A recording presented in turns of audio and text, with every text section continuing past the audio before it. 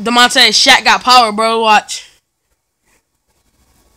He's in the ball out of space.